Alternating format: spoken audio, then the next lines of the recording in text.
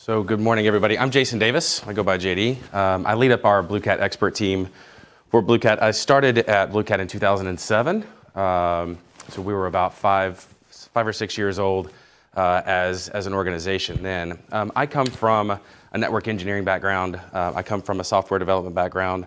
Um, I was actually on the team that uh, invented the server blade, if you believe that or if you're not. So some folks in here probably remember some of that time frame. I got into consulting after that, and then um, I got into uh, got uh, got hooked up with uh, with BlueCat, and it's been a very good journey since that time. What's interesting about talking about DNS and the folks that raised their hand, there's more in, there's more network people in here than there are DNS folks, right? By raise of hands, I think there was two of you guys, you two guys that had done DNS for corporations, right?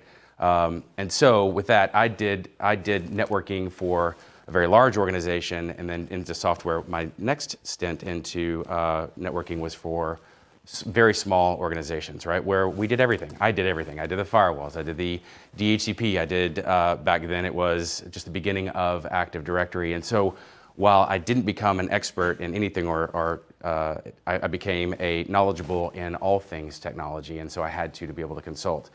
Getting into BlueCat, uh, what I found at that time was I thought I could take the knowledge or the, the knowledge that I had in terms of just doing basic consulting really lent itself well um, to this space because it wasn't about simply answering queries.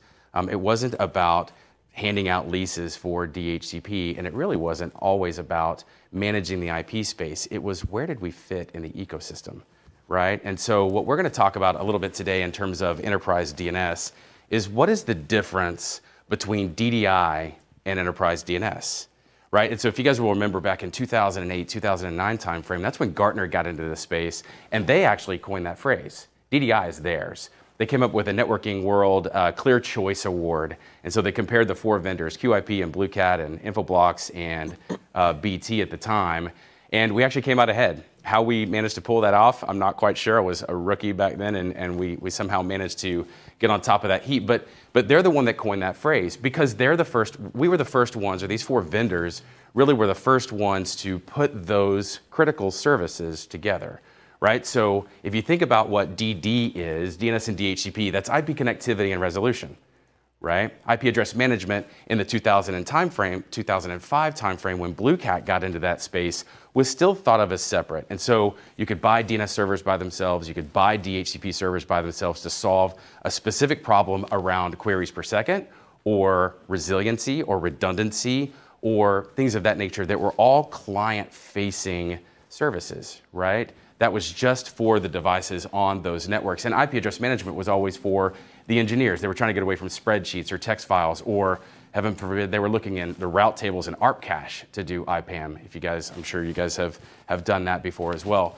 So in this time, it's important to understand the history of where we've come from, the eras that we've gone through in technology, which is why we landed here in enterprise DNS. And so thinking about IPAM for just a second, client services, DNS and DHCP, they haven't changed in 30 years. They really haven't. Um, the biggest change that we can think of, or that I can think of as I was preparing for this, is uh, the SRV record when AD came around. That was a big change, right? Um, think about DNSSEC being implemented in the 2009 timeframe, but DNSSEC was available back in the 90s, right? And so these eras of time, uh, IPv6 changed the, uh, VoIP changed the IP space. IPv6 changed the, uh, the IP space. What's changed the DNS space? Right? Nothing. Over these, over these years and eras, nothing has really made a, a, significant impact to DNS and specifically to these three services that have been clumped together for a very long time. What we found is that when we went to go talk to organizations, the problems that they were having, they were scared about outages. They were scared about, and I won't mention, I will mention, uh, I can mention Microsoft. They were scared about what was happening in terms of outages related to Microsoft, related to DNS or DHCP issues or things of that nature, right? And so resiliency, redundancy, speed, those things were things that we really talked about. Since then, those have become absolute table stakes, right? And so now what we're looking for is a way to, or in this era now, with these th three things being uh, clumped together, now what is changing the market and why in the world, we'll get to it in a few minutes, why in the world would make a change from the things that we're using today, right? Like Microsoft, like spreadsheets, like maybe even you're a uh, DDI minded customer already or organization already. Maybe you're already using one of the four big vendors or maybe a couple of the small vendors for either IPAM or these services. So, why in the world will we make those changes? When we went in and we were successful, we weren't very successful against displacing our competitors. And so we stopped trying. We didn't need to displace our competitors. There was a huge greenfield market for all of these organizations that were using completely disparate tools and services and management uh, uh, technologies for these three different things. What we tried to do was boil the ocean, quite frankly. We tried to go in and say, you know what, if you're using Microsoft, if you're using Bind, come use BlueCat we will spread across your entire organization globally, right? And you will become unified and you'll be BlueCat across the world and you can save the world, right? What we found was we became a part of the problem, right? We became, we were making even more disparate environments when we thought like that because we might, we might go ahead and implement completely in Europe, we might implement completely in, in, North America or anywhere else, but we never got global because they never had a reason to go global, right? And so now we were another vendor, we were another technology, we were something else that they had to manage, another place to go to go get data, create services, do management, and we never got to the actual leveraging of those infrastructures we always just managed the services themselves. And so if you think about what it is, again, DDI is all connectivity and resolution, which is all client facing. It's very complex and error prone, and not because the tools are bad, but because when you create a disparate environment, you've got to hand off from one environment to the other, especially in DNS, right? And so with that, if I'm using Microsoft and I have to forward over to Bind and I have to then forward out to wherever I need to go, it's not the configuration that's the problem, it's the management of the configuration that becomes the issue. And so, therefore, when we start talking about what enterprise DNS is, enterprise DNS relates all three. It is DDI, but it is a unified platform across the board, right? To eliminate those uh, chances of errors, to eliminate the issues with not being able to automate. We'll get into some of those things uh, in a minute. but the number one key value driver, in my opinion, I don't know that anybody has said this, else, probably have, I don't know. My number one key value driver is visibility and control. And so, what does that mean? In a, in a space where I am the single source of truth of everything in the IP space and everything in the namespace, then I get a 30,000 foot view of what my networks are. I get a very low level understanding of what's on my network. And now, in this era of DNS, I get to understand what the intentions of all of those devices are through DNS. The only way to achieve that level of visibility and control is to completely unify across the board, right? Question. Is that I've been waiting for that sentence to say that that's what your that's what the main theme is. So you're talking about the unification of those services because I remember using uh, BlueCat on a huge global scale like six, seven, eight years ago, and it was great. And I'm trying to figure out now it's 1025 what, what's the angle of what you're doing today? The angle of what we're doing is not just unifying the services. It is treating DNS and DHCP and IP address management as one single solution that can be leveraged for something far more meaningful than just the client-facing services. And it was your next slide. So it worked out. Perfect question, perfect timing. okay.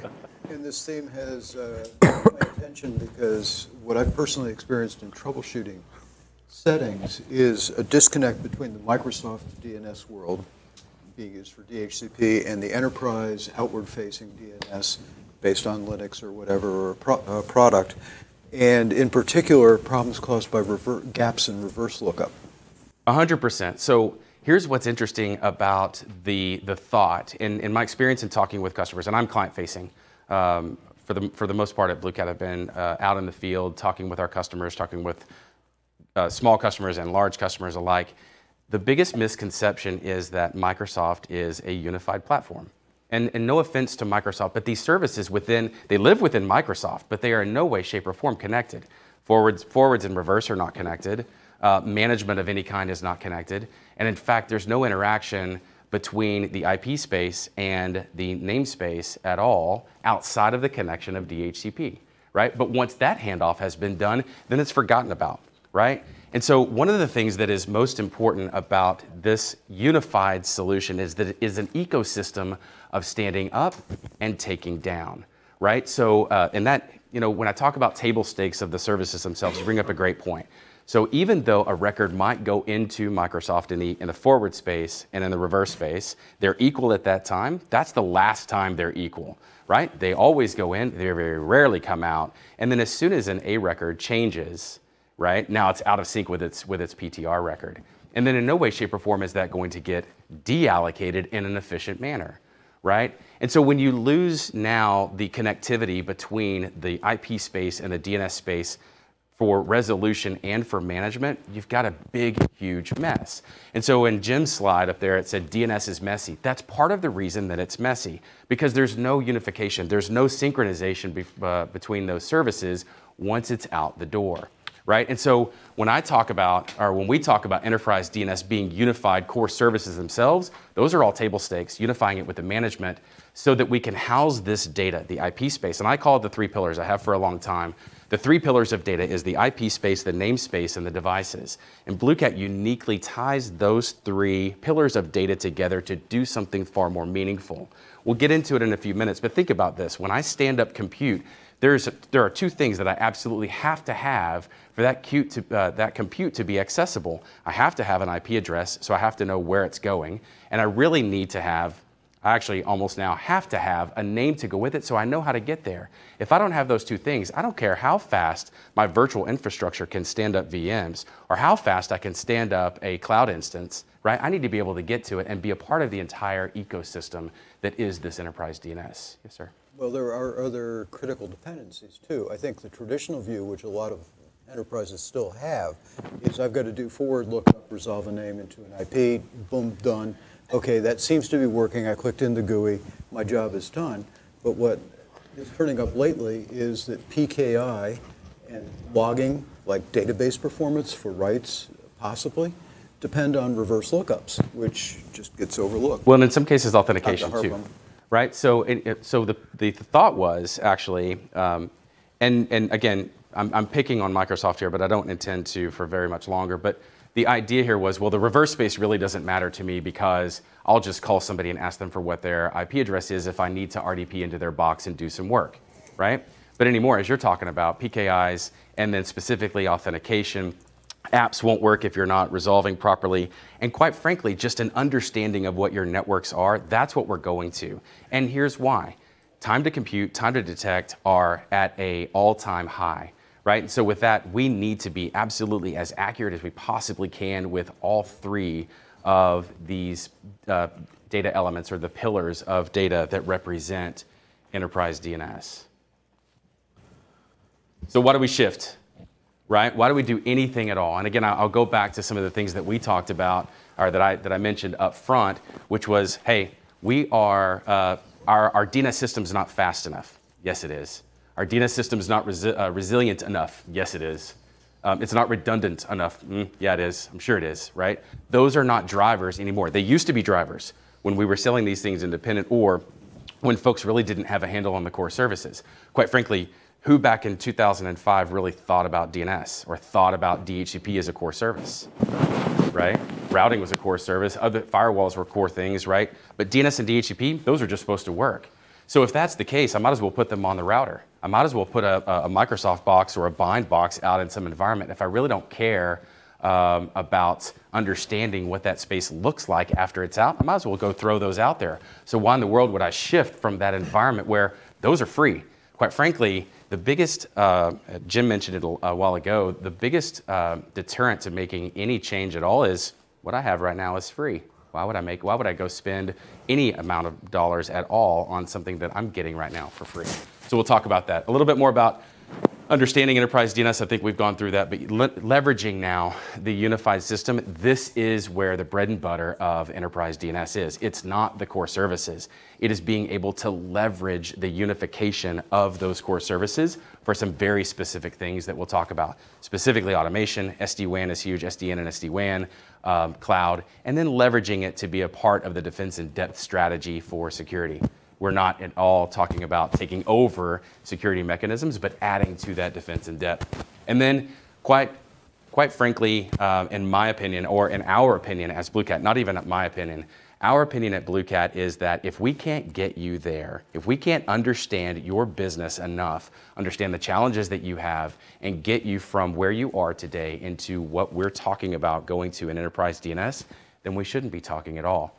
And I know at some point you're going to ask me, what is the differentiation between you and your competitors? And in my opinion, in our opinion, it's the bottom one, right? It is engaging with our customers, not just to have them use their imagination on how they can implement these services and leverage this tool. It is showing them, it is talking about how we've done it before with our other very large customers around the globe and getting them into this enterprise DNS and staying with them because this is a very quickly evolving and rapidly evolving era of technology where connectivity is about to change completely, which is going to change our whole thinking on how we provide core services, right? On how we provide DNS, on how we get to the resources that we need to get to, on how to understand what our networks look like, on how to change those networks super, super fast, instantaneously, and not just one, hundreds or thousands, especially when we move into cloud, right, or into the SD-WAN project. So that's what we're really going to talk about, why DNS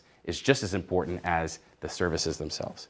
By the way, stop for questions. So concerns, questions, are we, uh, is, this, is this resonating? I mean, has this been resonating with your readers, with your corporations? Because this has been resonating with the engagement uh, um, conversations that we've had with our customers. Buy it? Don't buy it? Not monetarily. Get it? we'll get to the monetary I mean, it's going to be a hard sell for the small and medium business. It's 100% going to be a very hard sell for the small and medium business. That is a great point. Um, quite frankly, um, I don't want to speak for all of Blue Cat here, but you're right. I mean, that if we get into uh, the, the smaller and, and um, the smaller and medium-sized businesses just for the core services, they might as well stay right where they are. Or they might go with a vendor who is not focused on leveraging. The difference here, though, that will, and that's been in the last 10 years, we've noticed the SME market, uh, or the SMB market rather, has been a, uh, a, very, a very hard one to crack into. And so um, the, the folks that are focused on that accounts, they have a battle on their hands a lot. It comes down to features, and it comes down to functionality, it comes down to demos and POCs, and price, right? That's what really drives those projects. What I think is going to change this market now and make the SMB market easier to crack into is the fact that they're still going to SD-WAN.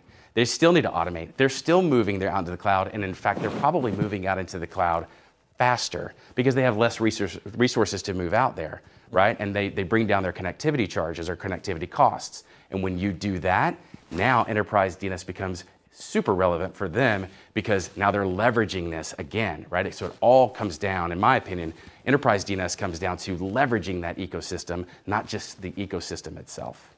That's a great question, a great point. Any others? Okay, what are we talking about? Visibility and control. Again, I think the DDI market, if we had if we had been able to spread been able to spread globally across, across our customers, I think visibility and control would have been the number one key value driver for DDI, right? I certainly think it is for enterprise DNS. Pervasive automation, we'll get into that. Cloud agility and enhanced security. Let's talk about automation.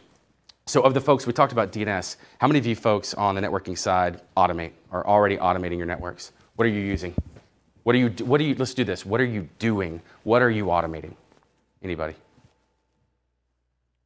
Standing up VLANs?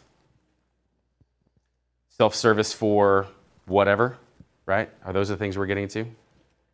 Creating templates for all configuration based on maybe an IPAM, something like that. For what? For for routing and switching? Routing, For routing? data center switching, and And what are you using right now for that? uh, it can be a well, it's a combination of tools, I guess. Well, we, with uh, one of the most well-known tool over there is maybe Ansible and uh, Yep. and uh, the Python. Okay. So so scripting and an actual tool, right? Yeah. Um, and then what is the what's the single source uh, in your organization, right? Do you have a single source of truth of the IP space? It depends on the customers that we are. Okay. Uh, yeah. What what is it? Uh, it can be a, uh, some kind of um, some open source, uh, some IPAM. Yeah. Yep. So so one of the off the shelf maybe. Yeah. Right. Or or even a vendor, right? I mean, uh, we get quite often we go into some of our older legacy customers and ask them that very question Are we the single source of truth of your IPAM? Or are we a glorified spreadsheet in the way that you're implementing and using us and leveraging us today? Right? So, Ansible, Python, what else? Those are the big ones. Those are the big ones, Yeah. right? And so is, is self-service, and so you're, I mean, in your, when you go to your customers, is self-service a big thing or just more of the templatizing against virtual, virtual environments? Mo- Most of the time, it's basically all templating. Got it. Okay. Right, so we'll get into this, but here's the idea, um, and this is, I, I, I can expect, uh, and I, I expect this question every single time I go stand in front of our, our, any of our customers is, what integrations do you have? What out of the box integrations do you have that I can take off the shelf and plug in immediately? And, and the interesting point back to that is that I don't know that I can answer that for you every organization is different. And so the approach to automation that we take is also a differentiator, in my opinion, to our competitors. Right? So if I build you an out of the box, or if I if I have an off the shelf or out of the box uh, direct integration with something, you're going to modify it anyway. And so the approach that we take to automation is a foundation of workflows, a foundation of flexibility in being able to work with just about any of the software solutions that you're using. A big one in self-service, Ser- uh, ServiceNow, for example, you're talking about automating some processes and templates. We can, the way that we take the, or the approach that we take is to build workflows, right? We will interact back in the very hardcore, strict APIs that we've always had against our main management platform, and then we'll build the business logic and workflows, expose a REST, uh, RESTful endpoint for you guys, and you guys, whatever, whatever service you're using, whatever tools you're using, you give us the pertinent information around the specific thing that you are trying to do or the specific request that you've been given. Let us do the hardcore work back in our data set, give you the relevant inf- information back, and then you can move along in the process that you need to create or to fulfill that request.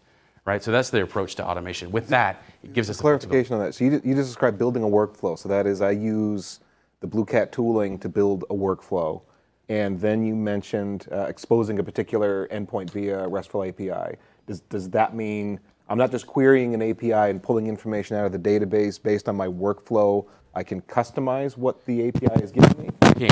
So in a traditional API model, so we still have both, by the way. So when I get into when I get into a diagram out here uh, that we'll talk specifically about, I'll show you where that is, and I'll show the historical way to do it and the way that we're doing it today in our automation platform. But you're right. So the traditional way is to go against the database itself with an API, very strict call to the API, maintains referential integrity, maintains the, the, the pertinent security and permissions around our data set to protect our data set in the API call, and you're going to ask me for the next available IP address, Yep. right? Very common one. Next available network, something like that. Set or give me a host record or an A record for that matter, right? Mm-hmm. You would come in and have to understand within your workflow specifically, whatever you're doing out there, all of the different, for lack of a better phrase, DDI or IPAM pieces, and you have to piece it all together yourself in the different systems that you're using. Say, for example, you're using ServiceNow right? And you have a request for a printer, something like that, or a request for a VM. Let's go with a VM. Then you'd have to know I've got to call out over here to the VM infrastructure. I've got to call out to the IPAM platform. I've got to call back out to the IPAM platform for my A record, et cetera. All of the different pieces within our automation platform where we're, we're creating that workflow for you here's a VM, right? I need a VM. So call into me asking for the workflow that represents give me a VM. And all of the business logic is created inside of that workflow. We spit you back out a yes, no, and the pertinent data, and you can move along. Right? So you don't have to know each and every specific Blue Cat API there is. And, and then you have to repeat that process with ServiceNow and OpenStack and Ansible and everything else that you're using. You've got to then repeat all of that work. Whereas if we build you the workflow that says, give that to me or create that for me, you only have to do that once in here and create one call back in with the pertinent data. That- was the lead, I think, uh, point to come out with, that you guys can help uh, automate with a single source of truth. You just described a lot of value right there. So. Yeah, it's look. I mean, uh, there's there's all kinds of tools, and there's all kinds of customers using all kinds of tools. Right? And so we're not trying to boil the ocean every single time. It's a lot less headache for us to help you build a workflow that all of the tools that you can use, and then let us give it back to the community, right? So that others can consume that or, or use that workflow again, right? Because quite frankly, if you think about, about what BlueCat, if or if you think about what IPAM is, forget BlueCat for a second. If you think about what IPAM is, think about the data that we hold that's relevant to your automation. We hold blocks, subnets, IP addresses. We hold the namespace, so subzones and zones and, and A records and PTR records. And in a lot of cases, we, we have the devices that are, that are occupying or allocating IP space on our networks. And that's it, right? I mean, that's the relevant data. You could use us for a whole lot more. You could use us for uh, asset management. You could use us for a whole bunch of different things, and customers are. As we get into SD-WAN, they definitely are. But in, in general, for the base use case of give me an IP address, um, you're just looking for one simple thing, right? But now you've got to do that over and over and over. So we'd rather build that entire business logic for you, let you can consume that, and then we can give it back to the community. Cloud, in my opinion, um, in the I'm sorry, in the engagements that I'm involved in recently, and my team has been involved in recently, and I'll tell you where we fit inside of BlueCat. Cloud is probably the number one thing that we talk about. It's it's definitely the number one thing that my team is focused on, and we're definitely going to get into this. And you might think, well, wow, why is cloud? Why, why in the world would I need to talk about enterprise DNS in the cloud? Cloud already has DNS, and that's very true. And that adds to the disparity uh, to more disparate environments. And so, as more and more and customers are getting into cloud, the biggest thing, the very first question that I ask them is, what are you doing in the cloud? What is your cloud strategy? What is your C level CIO? What are the goals of the organization to get to cloud? And where are you in that journey? Are you 2%? Are you 50%? And, and quite frankly, what are the challenges that you're finding? What we are hearing from our customers, they don't know how to get bi-directional resolution and visibility from on-prem into the cloud and back, right? And so if you think about, and I won't pick on the cloud vendors, um, actually I will here in a minute, but not just yet. Um, but quite frankly, cloud was invented or was created originally to be autonomous. We weren't thinking about extending our corporate networks out in the cloud. I needed compute. I didn't have compute. I went and swiped my card. I got compute, right? I went and I connected however I connected out to the cloud. I got what I needed. I did my development. I got rid of it. I paid for it. I'm done. But anymore, as everybody knows, cloud is now becoming an extension of our corporate networks. And in some cases, the cloud is becoming our corporate networks. And so when we think about the different connectivity models that will drive the next era, in my opinion, uh, or, uh, from what we're hearing, not my opinion, but from, from what we're hearing from our customers, the cloud will be the end all be all, whether it's private cloud or the public clouds, that will be where the resources are for the organizations. And we can't rely, we can't rely on the autonomous DNS that is in those clouds. We have to connect it back to our on-prem because our our clients, our own users, are looking at the on-prem DNS and they need to be able to resolve out into the cloud. And so we ask them every day, how are you doing that today? It's manual, right? And it's error prone, right? And it's slow and we can't keep up with demand. That's why we're moving to automation. And you can't move to automation without a unified platform across the board. So that leads to a good question. Since every source of truth that you could have um, is a manual process. How do you maintain that on a daily basis to make it accurate? That's a great question. You would think, um, you would think that, oh well, if I'm going to be the end-all um, single source of truth for the IP space, for example, then I better have a good discovery mechanism. Mm-hmm. I disagree, right? I disagree. I, I think that is part of it, but that's not the end-all be-all. Time and time and time and time again, we have heard when we come into our customers, well, just come discover our network, right? How many times can you do that? You can't, you, are going to get blocked all over the place when you start trying to discover specifically the IP space in a given organization. So here's how we tackle that. We take what you have, we go in and we dig and we do discovery, not, not physical discovery. We go engage with our customers. What tools are you using? What services are you using? What processes are you using? And again, this goes back to BlueCat's engagement model with our customers to become that single source of truth. Because there is no one single, there is no silver bullet to fire into a network and go get everything that's on that network. You have to work with the teams that are managing those networks and creating those networks. You have to start working on the processes. And so this is much a a process of human as it is tool sets to say, look, you can circumvent this process if you want to, but there are ramifications if you do so, right? And so you're, you're going to be able to get around any automated tool if that's your intention to do that.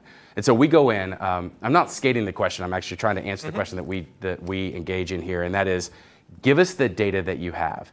We can we can gain some very good insight when we start comparing the IP data that you've given us with the real DHCP data that's on the network, with the real DNS data that's on that network. And when we start doing that comparison process, we can gain some real insight into that's garbage. That's not good anymore. You can't hide from DHCP. You can hide from IPAM, right? But you can't hide from DHCP. DHCP is real, and if it's not functioning properly, you have an outage immediately right? So I have to know that that DHCP scope represents this subnet of whatever site or whatever size that it is accurately in whatever DHCP system that I'm using. And so when I go and I compare DHCP to the IPAM block, for example, and it's inaccurate or there's conflicts, DHCP wins out, right? Because DHCP is serving accurately against the routing tables that are on your networks right, or uh, against your, your routing infrastructure. And so we can go in, then we take that one step further and we compare that against the DNS data that you have. We could pretty much throw away your reverse space. To your point, the, uh, the PTR records, mm, we're pretty much going to assume that they're garbage. Um, I'm for all the folks out there that are your PTR infrastructure, your reverse space is accurate. I apologize, but for and for most, it's inaccurate. And so we can discard most of that. We can discard the dynamic data itself. We know that the Active Directory or anything coming into DNS by way of DHCP is, we can throw it away because we'll recreate it. And now we've got a smaller subset of data to actually start from. And so if you'll think about, if you heard if you've heard BlueCat talk in, uh, in customer engagements or other conferences, we value that data as gold because we are, our end goal for us is to be the end all single source of truth and it must be accurate. So in any one of the migrations that we do, we focus on that data set as hard as we possibly can, scrub it clean, get it clean, get it in, and then work on the processes of whatever automation you're using, whatever processes you're manually using for requesting or doing administration, and now we will build ourselves into the single source of truth. To the discovery question, now we can go spot check in different areas of the network to ensure that we have the accurate IP space, and now we are the DNS, so we know that's accurate. Yes, sir.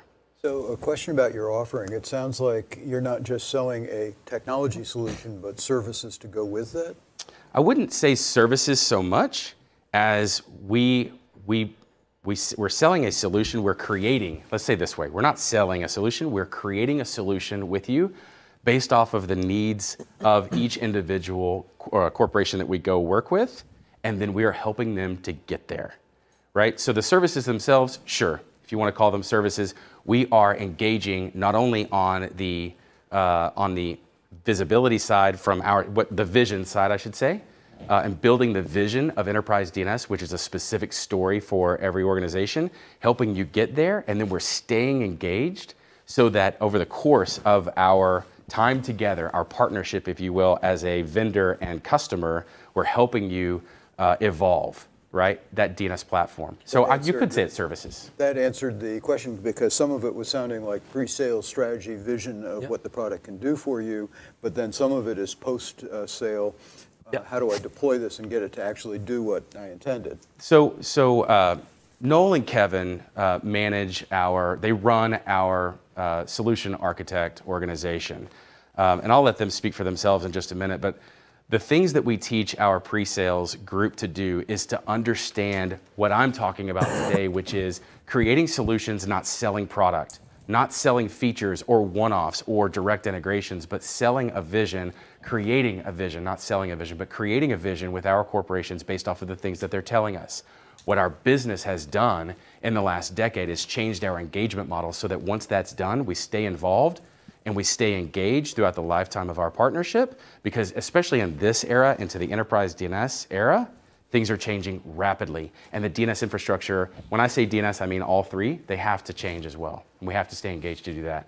And we have, we have um, invested a lot of time and effort and, um, and money, quite frankly, into, into building that engagement model.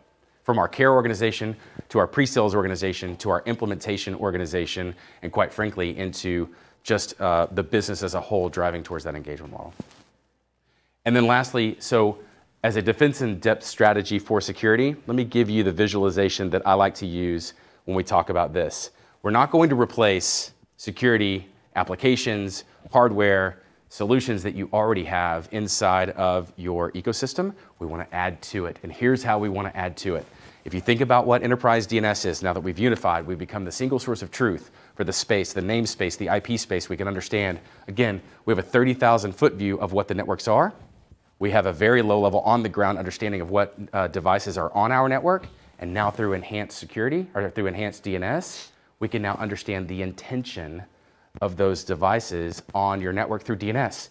We can apply policy directly at the client facing level, which I'll get into in just a moment, right through DNS right? With that, that is super valuable. And so you might be asking yourself, well, we do query logging. We use, we use a nice uh, vendor for capturing all those query logs that get sent over, right? That's great. That is very reactionary. I mean, quite frankly, 99% of the time they go into that data lake, they never come out. They never get analyzed. And certainly there is no uh, ability to apply policy at the service level, at the service point level, which is client facing. Any questions on that? because that's going to open up a whole can of worms, I'm certain. Okay. Intelligent DNS. This is the other part of when we get down into what BlueCat's vision is around DNS. What you're going to ask, what's the roadmap? What is BlueCat thinking next? we're not thinking, uh, one, I talked about enterprise DNS, leveraging for cloud, leveraging for the challenges you have around cloud, leveraging for automation, time to compute, time to detect, a little bit of security in there. But this is really where we're moving, right? Intelligent DNS. And what does that mean? If you think about the analogy that Jim gave you a little while ago about, about plumbing and pipes and water, right? Water has a very specific way to flow into your house or into your organization and out of your house. And so DNS was thought of as the same way. I've got a pipe, I'm gonna send uh, information through that pipe, it's gonna go one way, that's it, right? But now what we're understanding is that organizations are facing some serious challenges where we need to make some decisions on how we answer queries, not just answer the queries. And so before it was, hey, I need to know where Google is. Fine, here's where Google is. You're welcome for the plug, Google uh, hey, I need to know where whatever is. And so we'll answer that, right? But there's a whole lot of information in there that we can derive, and there's some decisions to be made. If you think about mergers and acquisitions, if you think about migrations, if you think about things like split horizon DNS, which is the oldest of these, where I've got the namespace the same on the inside as it is on the outside. Anybody know what I'm talking about? Right? When Active Directory uh, came around, people thought, oh, that's a really good idea to name my Active Directory environment bluecatnetworks.com, right? Because that's what we had on the outside. And all of a sudden, I've created a split, a split brain or a split horizon situation for myself, and I've du uh, duplicated or doubled my administration of the, of the DNS that I have, right? It's a big problem. But it was one of the older problems. Now we think about DNS as an intelligent routing mechanism to say, you know what? If you're destined for the internet, that's fine. Go out this pipe. If you're destined for authoritative DNS, go here. But you know what? That authoritative DNS might actually live in a couple of different places. And so if you think about the way that RFC standard DNS works, I'm going to ask you a question about a particular host name, and you're going to answer me. And you might answer me with an NX domain, but you're going to answer me. I'm going to take your answer, and I'm going to have to take that answer. But what about if I do a, an acquisition of a company, and I'm not yet ready to merge that data, but I still have the same namespace. Now I might have three or four different sources of authoritative information around that namespace. And so what we can do is say, can I have an answer?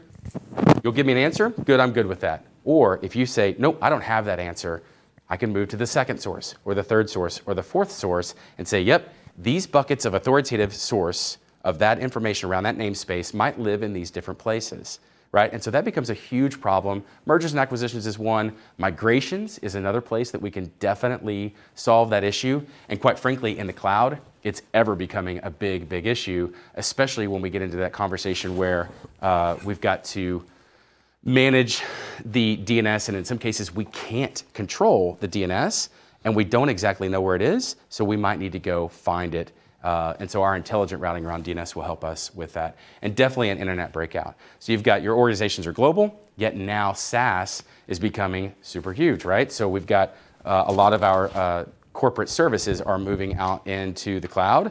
And I don't want to be here, I don't want to be across the ocean rather, and have to come all the way back here to consume my SaaS based off the fact that I'm querying into my corporate DNS and it's giving me an answer in North America, but yet I'm over in Europe or I'm over in Asia or wherever. So internet breakout is a huge problem. We can solve that with intelligent DNS routing. Did you just say Office 365? I did not say Office 365, but I meant Office 365. Again, I'm not trying to pick on Microsoft, I promise. Any, you know what? Let me go back. Can you think of other use cases for being able to intelligent, intelligently route DNS? These are what we hear from our customers, but Guest networking, BYOD. um, BY. separate- BYOD, separate zones for different areas of the that's one of them. Yeah, identity is definitely a big player for us when we start talking. Kind of rolled up in there, but Yep. Anybody else? Proximity-based routing, maybe, like, depends on the user location. Okay, let me send a request to here and Definitely so. Yeah, internet breakout's a, a big one for that for sure. Anybody else? Okay. Anycast. What about Anycast? What about Anycast? Yeah, Anycast is a great topic, right? And so um, when we talk about, and I, I did, I tried to incorporate Anycast into the flow of this talk, and I couldn't really fit it anywhere unless somebody brought it up, and we can definitely talk about it. But Anycast is one of those things that is thought of generally in, in the conversations that I have as a DNS thing, right? And it's a routing thing, right? Anycast is, is absolutely routing. It did change resiliency um, of a DNS of a DNS uh, ecosystem, right? But it presents its own challenges, right? Because it's not load balancing and it's not geo aware necessarily, right? It could be maybe. Um, if you configure your DNS to be geo aware, then Anycast could do that for you. For, but that's definitely a good one. I should add it to the list. Map internet approach. Say again. You need to map everywhere. So That's right. work. Yeah, but Anycast is definitely a um, a great protocol. We really uh, we we we we'd like any we like to use Anycast. Uh, we have to get around some of the challenges of using Anycast, but I think what you'll find is that um, the enterprise DNS ecosystem will will rely more and more and more on both load balancing and Anycast in the future. I'm not giving away anything here. Um, or do I know anything? But I believe Anycast is going to revolutionize some of these services well beyond what it's doing right now. So where do we fit? This is the, I think anytime we have talks, whether they're customer talks or presentations, or especially in front of a group of folks like this, where does BlueCat fit? Right? Where are we in the ecosystem? One, we're a core service. 100%, no doubt. If what BlueCat provides or what these core services provide is down, your network's down. I don't care how fast your wireless is, your proxies are, your firewalls are, your routing and switching, don't really care how fast that is. If I can't get on the network through IP connectivity and I can't resolve to find out where my final destination is, the network is down from the client's perspective, right? Who remembers the, uh, who remember, sorry, Dyn, who remembers the Dyn outage, right? So I live in Dallas. Uh, somebody else lives in Dallas, right? Um, I remember sitting on my couch. I was getting ready for a presentation the next Tuesday. And I think that was October 19th or something like that. And I remember sitting on my couch on my laptop, and I heard the newscaster, Channel 5. He goes, Internet's down. Like global breaking news, the internet's down. And I looked up and I went, What? What did you say? Like, that is the most awesome statement ever. And what had happened was had had an outage, right? And so, with that, for the folks that were using that service at that time, their services were down, right? But the newscaster, I mean, the, the global perception was, oh, the internet's down. So these are core services. We fit at the core services level of any organization. Specifically, where do we fit? Authoritative DNS, we're going to configure and we're going to spread across the organization to make sure that your, your corporate resources are mapped to appropriately through the namespace, but we fit right at the client edge right? We are client facing. And so if you think about the disparate environments that we have today, you might have a variety of uh, different installations. Maybe you're using Bind, maybe you're using Microsoft, maybe you're using something else, right? And they're all over the place. BlueCat 1 is trying to be unified or want to be. Enterprise DNS is the unification, but we were right at the client-facing portion of the network. So the very first thing that a client's going to do is get an IP address from us. The second thing they're going to do when they try to do something is resolve against us, right? And so we're right up against the client.